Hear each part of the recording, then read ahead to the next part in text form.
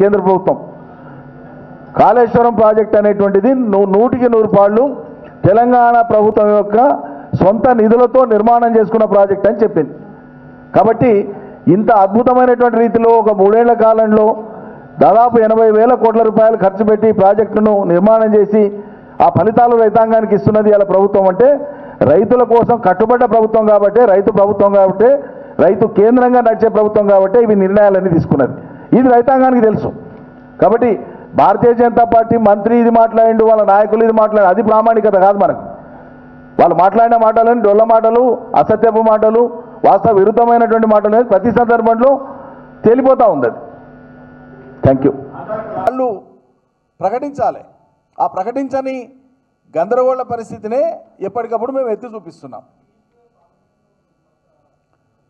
అబద్ధం చెప్పిండు అందంగా. అందంగా అబద్ధం చెప్పిండండి. దాన్ని ఖండించినాం మేము. మొత్తం అబద్ధం చెప్పిండు. ఎంత బాధ్యత రాహిత్యం అండి ఆయన మాట్లాడింది? కేంద్ర ప్రభుత్వం మాట్లాడింది ఎంత బాధ్యత రాహిత్యం? సి ఈ మొత్తం ప్రక్రియలో ఇప్పటికి వంద సార్లు మాట్లాడింటాం మేము. మీరు కూడా అన్ని రాసిండ్రు. అన్ని టెలికాస్ట్ చేసిండ్రు. చర్చలు పెట్టిండ్రు మీరు కూడా. మొత్తం కొనుగోళ్ళ ప్రక్రియలో రాష్ట్ర ప్రభుత్వం యొక్క పాత్ర అయింది. సూపర్వైజరీ రోల్ మొత్తం ప్రక్రియ అంతా కూడా కేంద్ర ప్రభుత్వం ఆధ్వర్యంలో జరిగేది. ఆయన ఆశ్చర్యకరంగా మాట్లాడతాడు. రాష్ట్రం ఇంకా మాకు ఇయ్యనే లేదని. మేము ఇచ్చేదేంది నీవి నీవు తీసుకుపోవాలి. నీ రైలు పెట్టాలి నీ గోదాములు నింపుకపోవాలి. నువ్వు పైసలు ఇచ్చి ఇక్కడ రాష్ట్ర ప్రభుత్వానికి నీ నీ నీ- నీ ఇది నువ్వు మిల్లులకు వెళ్ళి షిఫ్ట్ చేసుకోవాలి. జాగా లేదు. మీ బియ్యం మీరు తీసుకొని పోండి.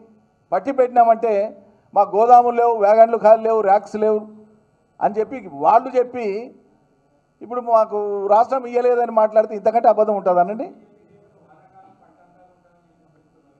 ఈ చెప్పేది ఈ చెప్పేది రాతపూర్వకంగా ఇవ్వాలి కదా. కేంద్రం అనేటువంటిది ఒక ప్రభుత్వం అనేది ఇంకో ప్రభుత్వంతో వివరించే తీరు నోటి మాటతో ఉంటుందనండి? రాతపూర్వకంగా ఇవ్వాలి కదా? అదే కదా మేము డిమాండ్ చేసేది మొదటి నుంచి? ఇప్పుడు పోయే దానికోసమే డిమాండ్ చేస్తున్నాం.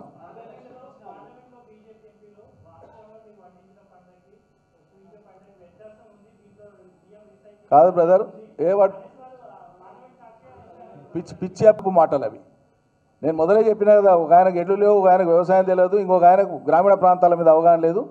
ఈ వ్యవసాయం ఎట్లా జరుగుతుందో తెలియదు. అటువంటి వాళ్ళు మాట్లాడేది ప్రామాణికం. అని నాకు- నాకు అర్థం కాదు. మరి ఇలా ఇలా వాళ్ళు ఇచ్చిన టార్గెట్ అయిపోతుంది కదా ఇలా పొద్దుముక్కలు రేపు పొద్దుముక్క ఎవరికి అయిపోతుంది కదా. అరవై లక్షల మెట్రిక్ అయిపోతున్నాయి. మీరు మీడియా మిత్రులే కదా. మరి మరి ఇప్పటికీ మరి కళాలలో ఒడ్లు ఉన్నాయా లేదా? కోతలు కానటువంటి భూములు ఉన్నాయా లేదా? మీకు మీకు కనిపిస్తలేదా? మీరు చూస్తలేరా? టార్గెట్ ఎట్లయిపోయాయి మరి? బ్రదర్ మోటు లెక్క. తెలంగాణలో మనం పంట వేసిన దాని మీద అరవై రెండు లక్షల పదమూడు వేల ఎకరాలలో పంట ఉంది. కోతలు అయినాయి కొన్ని ఇంకా కోతలు నడుస్తున్నాయి కళ్ళాలు నడుస్తున్నాయి. ఓకే? సగటు ఒక ఎకరా క్వింటాలు వానాకాలంలో మనం మనం మన అనుభవంలో మన రైతులు పండిస్తున్నటువంటిది. ఇప్పుడు నేను మాట్లాడుతున్నా అంటే లక్షలాది మంది రైతులు వింటారు. రైతు అంత పండిస్తుండా లేదా? రైతుకు తెలుసు మీ దాంట్లో కూడా వ్యవసాయ కుటుంబాల నుంచి వచ్చిన వాళ్ళు ఉన్నారు గ్రామాల నుంచి వచ్చిన వాళ్ళు ఉన్నారు. ఏటేటా ఉత్పత్తి పెరుగుతుంది? నాణ్యత